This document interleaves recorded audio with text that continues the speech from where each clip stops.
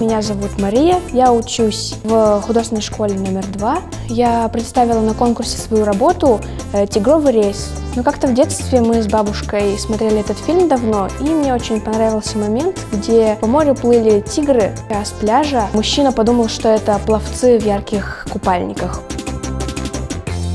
Я буду изображать улыбки людей, потому что нашим пермякам, наверное, не хватает позитива. Надо смотреть на жизнь с хорошей стороны, видеть какие-то моменты интересные в жизни. Поэтому я буду их рисовать, и рисовать улыбки и интересную жизнь, чтобы люди улыбались.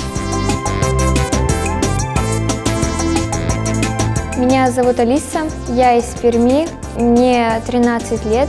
Я приехала сюда с работой «Осенняя Пермь». «Осенняя Пермь», а, потому что это время верить и чувствовать что-то необычное. Первый свой рисунок я нарисовала примерно 3-4 года, и это была моя семья и мой дом.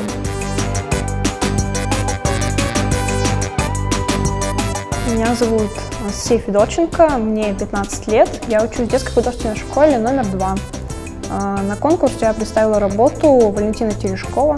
Я думаю, что это один из самых значимых людей в космонавтике, в истории освоения космоса. Довольно часто рисую известных людей. Достоевского, Набокова рисовала, Эдгара По.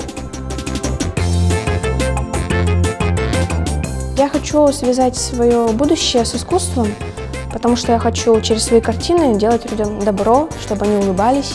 Я думала, кем я стану, скорее всего, дизайнером. Э, Пока чего я не определилась, но ближе интерьер или одежда. Я планирую поступить на художника-графиста и потом книжные иллюстрации, что-нибудь с этим связанное. формуле успеха.